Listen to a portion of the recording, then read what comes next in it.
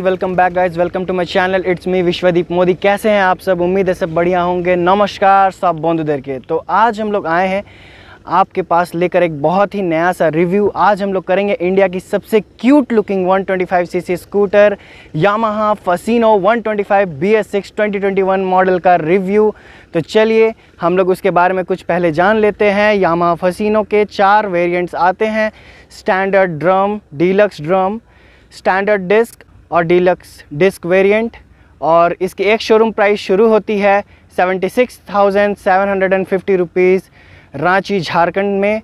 और जो वेरिएंट आज हमारे पास है, वो है standard disc variant cocktail yellow colour तो चलिए शुरू करते हैं हमारा रिव्यू और देखते हैं कि इसमें क्या हमें नया और अच्छा मिलता है। अगर स्टाइलिंग और डिज़ाइन की बात करें तो दोस्तों, ये स्कूटर में कहीं भी आपको शार्प एजेस नहीं दिखाई देंगे। हर जगह आपको थोड़े कर्व पैनल्स दिखाई देते हैं और ये स्कूटर को इंडिया की सबसे क्यूट 125 सीसी स्कूटर बनाती है। आगे का ये जो फेंडर है, ये पूरी तरह से मेटल का है और आपको कहीं भी टकराने से डरने की ज़रूरत नहीं है क्योंकि ये बिल्कुल भी नहीं टूटेगा। पहले जो कंप्लेन आती थी कि प्लास्टिक का फेंडर टूट जाता है, अब वो इसमें ठीक हो चुका है। कंपनी ने इसे बहुत सुधार दिया है। आगे की तरफ़ देखें तो दोस्तों, आपको मिलता है यहाँ पर एक क्रोम प्लेट्स जो दोनों ही तरफ़ है। अगर यहाँ पर इस टैग को हटाया जाए तो यहाँ पर आप देख सकते हैं, यहाँ पर यामाहा का लोगो है, आगे नंबर प्लेट की जगह दी गई है और यहाँ पर आपको ऊपर की तरफ़ मिलता है क्रोम से सजा हुआ एक ट्रैंगुलर शेप्ड हेडलैम्प आप यहाँ देख सकते हैं, यहाँ मिरर्स भी क्रोम प्लेटेड है और ये काफ़ी अच्छी शेप में है। अगर आप इसे गौर से देखेंगे तो ये आपको थोड़ा कैट आइज़ की याद दिलाता है। मिरर्स में जो आपको ये स्टेम मिलता है, ये भी क्रोम प्लेटेड है। यहाँ पर कोई भी ब्रेक के लिए लॉक नहीं मिलता। यहाँ पर जो हेडलाइट सेक्शन है, ये थोड़ा सा आगे की तरफ़ स्लोप की तरह दिया हुआ है। ये एक तरह से कैप के जैसा लगता है, पर इसका लुक काफ़ी बेहतरीन आता है। आप देख सकते हैं, आगे की तरफ़ निकला हुआ है। अगर हम लोग सामने की तरफ़ देखें तो दोस्तों, यहाँ से लेकर पूरे नीचे तक आपको कुछ बॉडी में वर्क्स किए हुए मिलेंगे। यहाँ पर फैसिनो का ब्रांडिंग है। और यहाँ फुट मैट की बात करें तो दोस्तों, ये एक फुट मैट है जो कि एक्सेसरीज़ में आता है। इसके नीचे आपको बैटरी का कंपार्टमेंट मिलेगा। इसके फुट मैट के नीचे जो बोर्ड है, वो एक मैश की तरह है, जो अगर आप इसका फुटबोर्ड देखना चाहेंगे तो यहाँ पर आप देख सकते हैं, काफ़ी सारा लेग रूम यहाँ पर आपको मिलता है। काफ़ी अच्छे से आप अपने पैर को आगे पीछे मूव कर सकते हैं। हाँ ये बहुत ज़्यादा बड़ा नहीं है, पर काफ़ी है। अगर लेफ़्ट साइड की बात करें तो दोस्तों, यहाँ पर आपको फसीनों की ब्रांडिंग मिल जाती है। बॉडी में भी एक क्रोम वर्क आपको दिखाई दे रहा होगा। ये पैनल जो है ये काफ़ी एक डक शेप का फील आता है, जो कि धीरे धीरे करके ऊपर उठता चला जाता है। यहाँ पर एक और फुटरेस्ट मिल जाता है। ये एक लेडीज़ फुटरेस्ट है, जो कि काफ़ी काम का है। और यहाँ पर आप देख सकते हैं, ये एक साइड स्टैंड है। इसमें side stand cut off feature है। इसका मतलब अगर आप साइड स्टैंड को डाउन करेंगे तो गाड़ी अपने आप बंद हो जाएगी, जिसे हम लोग कुछ ही देर में देखने वाले हैं। सेंटर स्टैंड भी इस गाड़ी में दिया जाता है। सीट्स को देखें तो दोस्तों सीट बहुत ही चौड़ी, काफ़ी कंफर्टेबल सीट्स है। ये ऑफ़ रोडिंग चाहे ऑन रोडिंग सब में कंफर्ट फील कराती है। काफ़ी चौड़े सीट्स है, आप अच्छे से देख सकते हैं। ये जो इसका बैक पोर्शन है, काफ़ी स्लीक और एकदम नीचे तक आता है। ऐसा आपको बहुत कम ही गाड़ियों में देखने को मिलता होगा। यहाँ पर आप जो इसका पीछे का ग्रैब रेल देख रहे हैं, ये पूरी तरह से मेटल का है, काफ़ी स्ट्रॉन्ग है और ये पकड़ने में भी काफ़ी अच्छा है। थोड़ा सा अलग डिज़ाइन है इसका।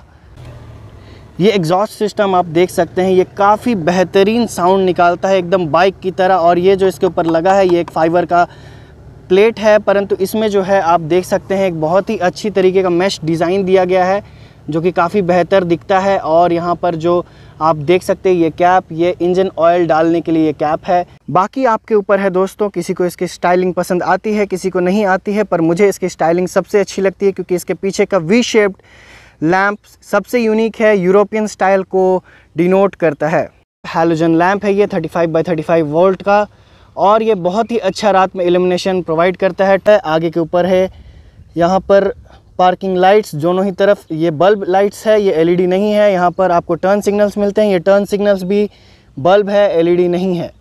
पीछे जो वी शेप्ड लैम्प है, ये इसका सबसे यूनिक फीचर है, क्योंकि इसके अंदर भले ही एलईडी लाइट्स ना हो, परंतु ये जो टर्न सिग्नल है, ये काफ़ी सिलेंड्रिकल शेप का है। अगर आप देख सकते हैं तो ज़रूर आपको दिखाई दे रहा होगा, जो कि काफ़ी यूनिक है।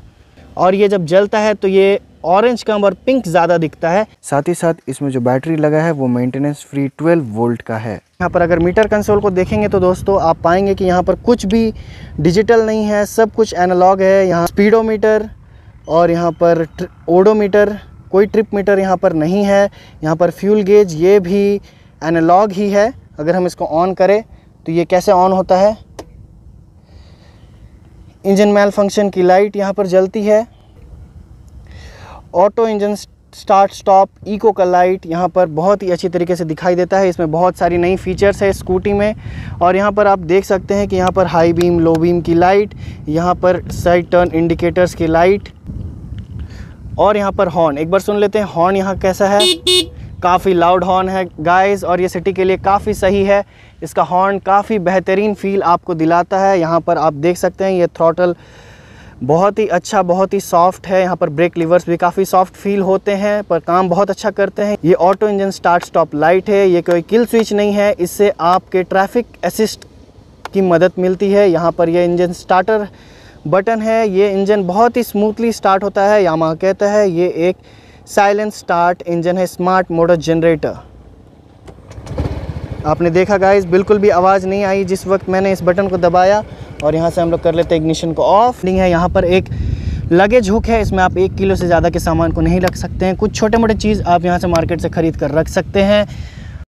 सीट खोलने के लिए दोस्तों बस चाबी को ऐसे लेफ़्ट की तरफ़ थोड़ा सा टर्न करना होता है, बिना कोई पुश किए और यहाँ पर सीट खुल जाती है। आप यहाँ पर देख सकते हैं अंडर सीट स्टोरेज 21 लीटर्स का है। इसमें कोई भी बूट लैंप नहीं दिया गया है, परंतु अगर आप चाहे तो कंपनी से कहकर यहाँ पर आप एक मोबाइल चार्जर इंस्टॉल करवा सकते हैं। ये काफ़ी बड़ा बूट स्पेस है दोस्तों। यहाँ पर आप देख सकते हैं, ये जो टूल किट रखने का जगह है, बहुत ही बेहतरीन दिया गया है। इसमें कोई भी आपके अंडर सीट स्टोरेज का जो स्पेस है वो यूज़ में नहीं होता, बल्कि यहाँ पर एक इसको क्लैंप कर दिया जाता है, जो कि स्पेस बचाने का सबसे अच्छा तरीका है।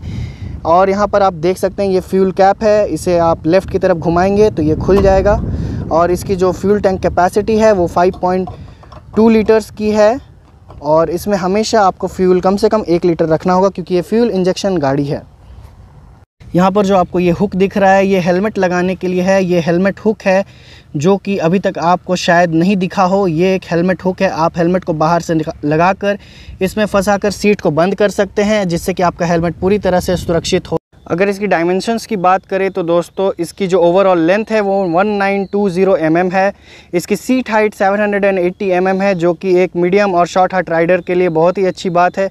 इसका व्हील बेस 1280 mm है, इसकी मिनिमम ग्राउंड क्लियरेंस जो आपको दिखाई दे रही है, वो 145 mm है। इसकी जो स्कूटर की वेट है with full tank fuel 99 KG है। अगर टायर्स की बात करें तो दोस्तों, यहाँ पर 90 बाई 90 mm का यूरो ग्रिप का टायर मिलता है, जो कि ट्यूबलेस है। और यहाँ पर निसन के ब्रेक कैलिपर्स दिए गए हैं। और जिसके साथ ही यहाँ पर 190 नाइन्टी mm का डिस्क ब्रेक है टेलीस्कोपिक फोक्स है। आगे और पीछे दोनों तरफ़ आपको एलॉय व्हील्स ही मिलते हैं। इसमें आपको किसी और तरह का व्हील्स का कोई ऑप्शन नहीं मिलता। हाँ आगे आप ड्रम ब्रेक के लिए ज़रूर जा सकते हैं। अगर रियर टायर की बात करें तो दोस्तों यहाँ पर आप देख सकते हैं रियर टायर काफ़ी चौड़ा है 110 hundred ten by ninety mm के यूरो ग्रिप के टायर्स आपको यहाँ पे मिलते हैं। लेकिन यहाँ भी आपको एक ड्रम वेरिएंट का ब्रेक ही मिलता है, पीछे कोई डिस्क ऑप्शन नहीं है। अगर इंजन की बात करें तो दोस्तों, ये इंजन जो है, गाड़ी का हार्ट माना जाता है और इसमें जो कवर लगा है, ये काफ़ी एक पैटर्न डिज़ाइन दिखाता है। अगर आप देख सकते हैं तो ज़रूर आपको अच्छा लग रहा होगा। ये पैटर्न डिज़ाइन, ये भी एक फाइबर कवर से ढका हुआ है। यहाँ पर आपको किक स्टार्टर मिल जाता है।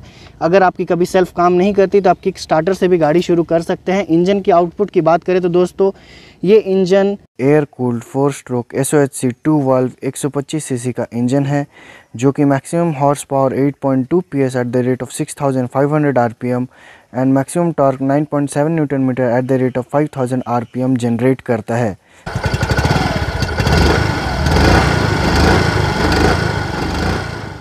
जहाँ तक मैंने बात की थी guys side stand cut off feature की तो वो मैं आपको दिखा देता हूँ। ये मैंने इंजन को स्टार्ट किया। और आप यहाँ पर देख सकते हैं साइड स्टैंड नहीं है।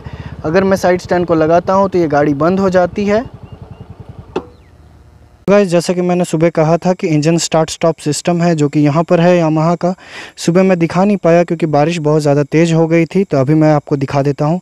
इंजन स्टार्ट स्टॉप सिस्टम को यूज़ करने के लिए आपको सबसे पहले इग्निशन की जो है, वो ऑन होनी चाहिए। और उसके बाद आपको ये स्विच ऑन करना होगा।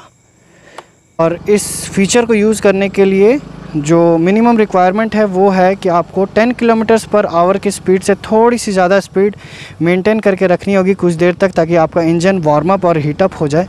और जैसे ही वो हो जाएगा, उसके बाद आपको अगर कोई भी ट्रैफ़िक मिलता है तो गाड़ी ज़रूर से वहाँ पर अपने आप बंद हो जाएगी विद इन फ्यू सेकेंड्स इस समय मैं आपको अपना थोड़ा सा जो जर्नी है, वो फास्ट फॉरवर्ड करके दिखाऊँगा। जैसा कि गाइस आप देख चुके हैं कि हम लोगों ने काफ़ी दूर तक गाड़ी को चला लिया है। अब यहाँ पर हम लोग का टाइम है कि हम लोग इसके इंजन स्टार्ट स्टॉप फीचर को टेस्ट करके देखें। तो चलिए टेस्ट करते हैं, गाड़ी को रोकते हैं और देखते हैं कि क्या ये गाड़ी सचमुच ट्रैफ़िक में रुकेगी या नहीं रुकेगी। तो हम लोग गाड़ी को यहाँ पर रोक लेते हैं गाइस और जैसे कि आप देख सकते हैं, इसकी ए लाइट ब्लिंक करने लगी है और ये यहाँ पर रुक गई है। इसे स्टार्ट करने के लिए ज़्यादा कुछ नहीं है, बस आपको ब्रेक दबाना है और हल्का सा एक्सीटर को लेना है और गाड़ी स्टार्ट हो जाएगी। गाड़ी इज़ रेडी टू गो और इसी तरह से ये काम करती है ताकि आपको ट्रैफ़िक में, गाड़ी चलाने में कोई भी असुविधा ना हो। तो गाइज़ आशा करता हूँ आपको रिव्यू बहुत ही पसंद आया होगा और आज के लिए बस इतना ही। मिलते हैं फिर से किसी नए व्लॉग में।